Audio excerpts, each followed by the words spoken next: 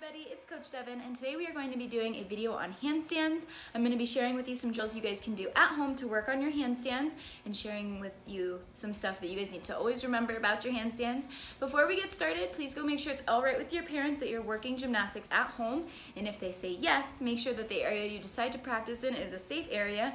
Today I'm going to be working outside in my garage and I have one of these like fancy mats so if you have one of those you could totally use it. If you decide to work inside, make sure that there are no wires crossing over the floor or any hard furniture with like sharp edges that you might fall into. Let's get started.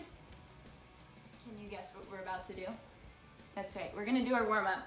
And I'm gonna be reading off the warm up right over here and then I'll be showing examples of what you're doing right over there.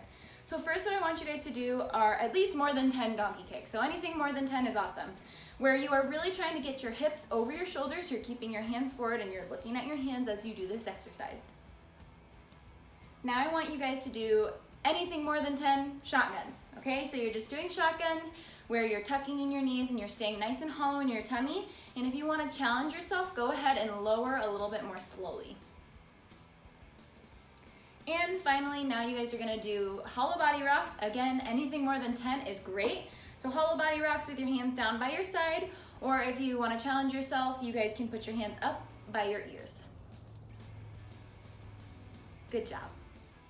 Gonna get started with stretching. Make sure you do your straddle stretch. Reach to each side and the middle for probably about 10 seconds. And now butterfly. I think I'm gonna go to San Francisco and smell your feet. And wrist stretch, go ahead and rock back and forth about 10 times each direction. Go in a circle when your hands are out to the side. Hands towards your knees, rock back and forth, and wrestle roller coaster. Good job and seal stretch. Look to each direction about 10 seconds. Look up for about 10 seconds. Touch your head if you can, which I cannot. and cat stretch. And go ahead and put one foot in front. We're gonna do our splits. Straighten that leg, put your nose to your knee, and slide down. Try to put your arms up if you can. And now other side, same thing. Straighten that leg, hold for about 10 seconds, and splits. And again, arms up. And then you're gonna bridge up and straight leg kick over. If you cannot kick over, just come down and rock and roll.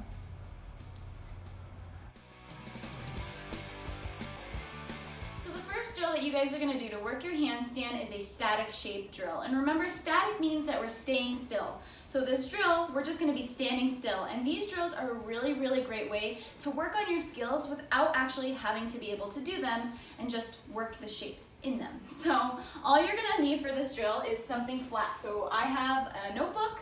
You guys can use a piece of paper or a piece of cardboard. Anything will do really, just as long as it looks like this. Um, and so what you're gonna do is you're gonna stand flat on your feet you're gonna start by squeezing your booty and squeezing your tummy, and then make sure you're putting your hands on that surface, nice and flat. Squeezing nice and tight, shoulders by your ears. Nice and tight, hollow.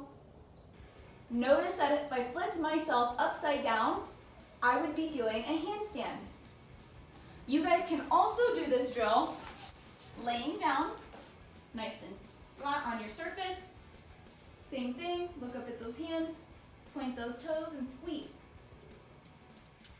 So you guys might hear me refer to your handstand like a stack of pancakes because when you have a stack of pancakes, you have each pancake stacked perfectly on top of one another. And nobody wants to eat a crooked stack of pancakes because then your pancakes are gonna be falling on the floor and on the table and nobody wants that. But in a handstand, it's kind of the same thing. First you have your first pancake, which is your hands, and then you have your shoulders, and then you have like your tummy area, and then your butt, and then your knees, and then your feet. And all of them are stacked on top of one another. What you don't want is you have your hands, and then you have your, your shoulders, and then your butt, and then your legs. You don't want to have a handstand that looks like that. You want to have your handstand perfectly stacked. So this drill is to help you make your handstand look like a stack of pancakes.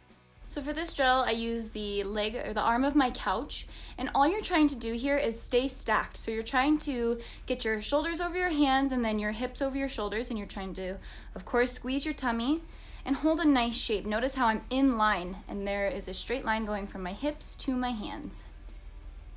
Once you've mastered that previous drill, you're gonna actually try sticking one leg up in the air, and then if you can, try to stick both legs in the air. I was pointing in my tummy so you guys could see I was telling myself to stay hollow, because this can be a challenging drill to stay hollow in. So you're gonna get in the same position, and then you're just gonna lift one leg up in the air. Notice how I'm really trying to squeeze my tummy and squeeze my arms, but this can be a challenging drill. Then, when you're ready, pull both legs up, and I forward rolled out of it, and then I started dancing.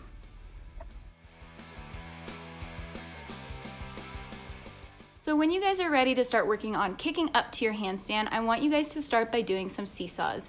Notice that from my fingertips all the way to my back heel is a nice straight line.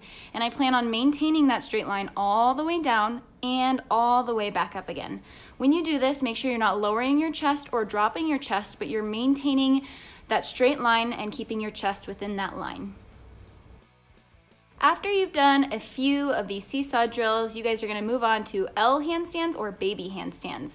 And this is almost like that one of that, fir that first drill we did with the couch, but without the couch. And again, you're just trying to maintain that straight line all the way up and make sure you're staying hollow and looking at your hands and starting and finishing in a lunge.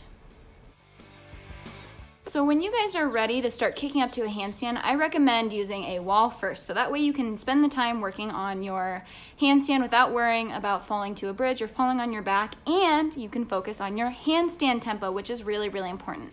So right here, I'm not really going within the handstand tempo guidelines because I'm holding my handstand a little bit longer. But our handstand tempo is one, two, split, three, four. So first leg is one, second leg is two, and then I split, step down, three, four. When you're ready, go ahead and try doing your handstand. So start in a lunge. Keep in mind all of the drills you just did and everything you just worked on. And yeah, let's try again and focus on handstand tempo. So first, lunge, kick up, one, two, split, three, four, lunge. Notice that I'm reaching in front of me. One, two, split, three, four. That one was a little off. And then one more. One, two, split, three, four, lunge. Good job. So that's it for today's video on handstands. I hope that you guys enjoyed this video and I hope that it was helpful for you. Um, please be sure to check out our Instagram as well as our Facebook and I would love to see you guys working your handstands on our Facebook page. So don't forget to post a video of you working this skill on our Facebook page or any other skill that I've posted skill videos about or any other coach has. Um, but other than that, I miss you guys so much and I can't wait to see you again soon.